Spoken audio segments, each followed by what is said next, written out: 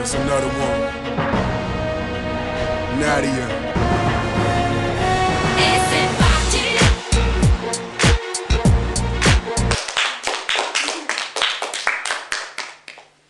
Le Sarco et le Lang.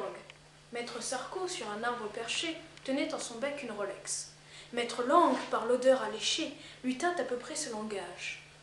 Eh Bonjour, monsieur du Sarco Que vous êtes joli Que vous me semblez beau Sans mentir, si votre ramage se rapporte à votre plumage, vous êtes le phénix des hôtes de ces bois. À ces mots, le Sarco ne se sent pas de joie. Et pour montrer sa belle voix, il ouvre un large bec, laisse tomber sa Rolex. Le langue s'en saisit et dit Mon bon monsieur, apprenez que tout flatteur vit aux dépens de celui qui l'écoute. Cette leçon vaut bien une Rolex, sans doute. Le Sarco, honteux et confus, jura, mais un peu tard, qu'on n'y prendrait plus.